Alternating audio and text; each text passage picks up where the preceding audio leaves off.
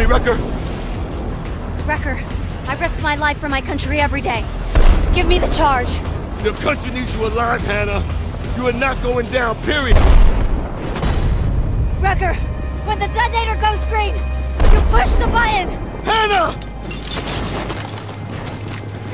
Motherfuckers! It's set!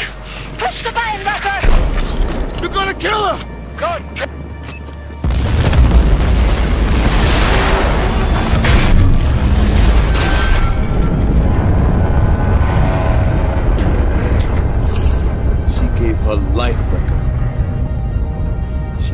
life for every fucking thing she believed in.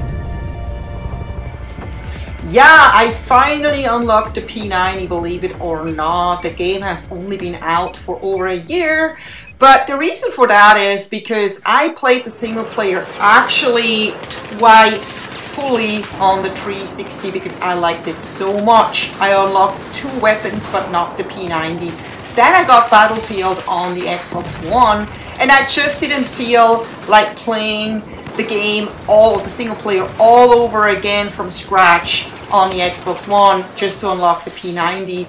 But then, you know, after a little break, I was like, why not? Why not play it again? And so I went through the whole single player a third time around to unlock the P90. And I know in order to, if you have played the single player once, you don't have to play the whole single player in order to unlock the other weapons. You can just actually play the last chapter.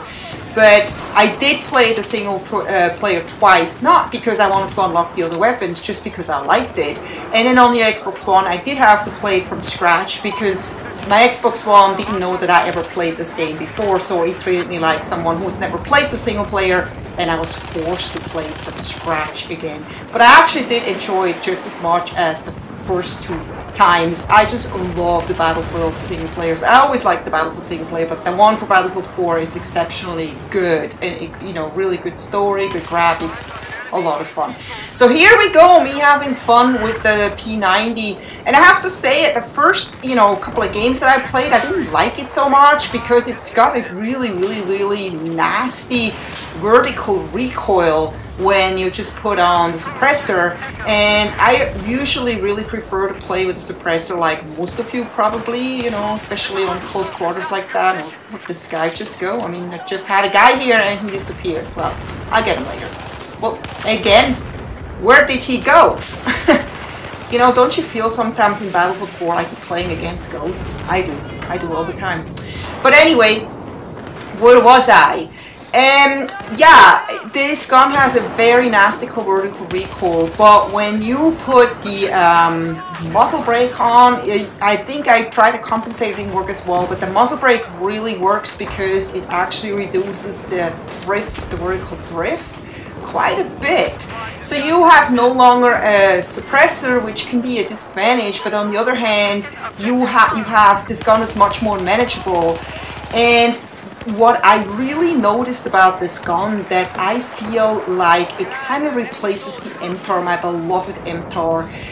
And if you've been following me for a while, you know that I have had a ton of fun with the MTAR. It was one of my favorite weapons, and I think even now on my statistics, it's still my absolute top weapon. I have the most kills with the MTAR. I think I have something like 6,000 kills with it or something. And I was just super sad when, you know, I found out after the upgrade that the, the MTAR was just not anymore what it used to be. It wasn't that awesome weapon anymore. It just became weak somehow. And it, it felt to me like I was shooting like pellets, like rice or Lego bricks or something like that. And now with the P90, I almost feel like I have those old days, those MTAR days are back again, you know, where you have this super fast uh, weapon that just takes out more than one enemy at a time, which I can't really say about a lot of other weapons. Like here, it's just amazing. I'm actually only showing here the clips where, you know, I do uh, take out more than one enemy at a time, which doesn't always happen because you don't always run in situations where you have two and three people facing you at one time, but you could just see how super easy it is to just take down, you know, two, three enemies with, with like one magazine. And that's just something that I was able to do with the MTAR and then really couldn't ever duplicate anymore with any other weapon. And you know, it probably depends on the person, you know, everyone has their their own favorite weapons. But this weapon to me is just my new favorite weapon. And I wasn't really sure if I was able to use this weapon on wild open maps, like, you know, this one for example, and this one for example, you know, huge open maps where, you know, it's totally populated with snipers and tons of vehicles.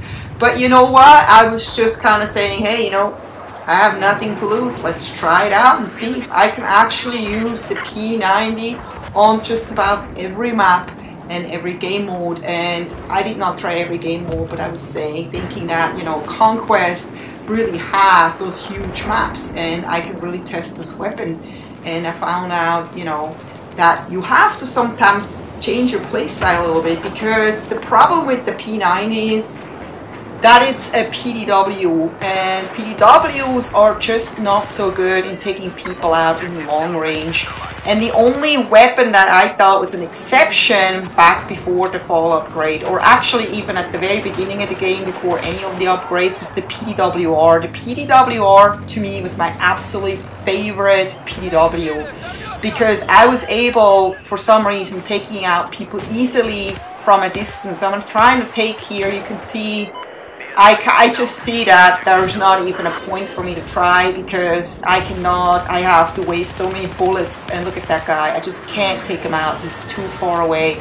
So if you actually adjust your playstyle with this gun, you can actually do really well. Just, you know, be more careful if someone shoots you from far away, take cover, let him come to you.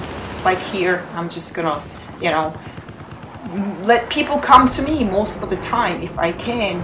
And right now I'm challenging myself to take someone out a little farther and I know it will be a little bit more difficult, but you know, sometimes this gun can surprise you and can actually take out people from afar if you manage to get a headshot. So if you haven't tried out the P90 yet, try it out and let me know what you think. I hope to see you next time. Take care. Bye-bye.